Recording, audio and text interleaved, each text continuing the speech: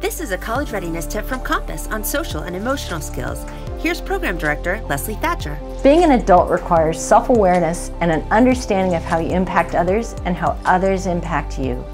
These are skills that will serve you now and into your future as you build relationships with friends, romantic partners, professors, teachers, and future colleagues.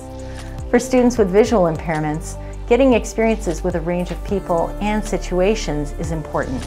Social interactions can be visually dependent. It can be hard to know how to tell if someone likes you if, they under, if you understand the nuances of a conversation or if you're facing the right direction on a Zoom call.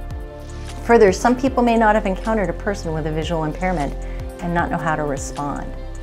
Find some mentors, teachers, parents, friends, to discuss your experiences and to understand the dynamics of these interactions and your role in them, including understanding body language and learning about cultural norms in different environments.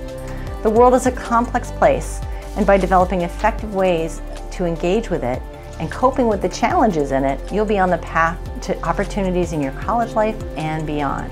Text on screen. For more college readiness tips, visit perkins.org slash compass slash learn more.